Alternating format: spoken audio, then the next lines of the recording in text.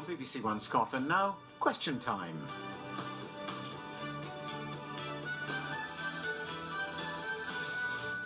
We're in Kelso in the borders with an audience from both the English and Scottish sides of that border, and welcome to Question Time.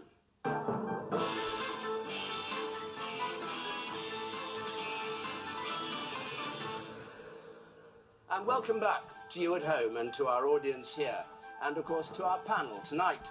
The Conservative Chairman of the Defence Select Committee, the MP for Penrith and the Border, Rory Stewart, Labour's Shadow Attorney General, Emily Thornberry, the Finance Secretary in the Scottish Government, John Swinney of the SNP, columnist for the Scotsman, Lesley Riddoch, and the broadcaster and Daily Mail and independent columnist, Janet Street Porter.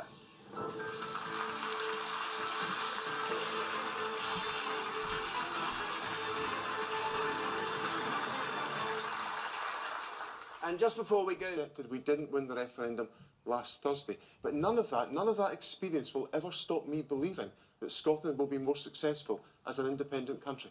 ...panel here, and to all of you who came to Kelso to take part. Until next Thursday, from Question Time, good night.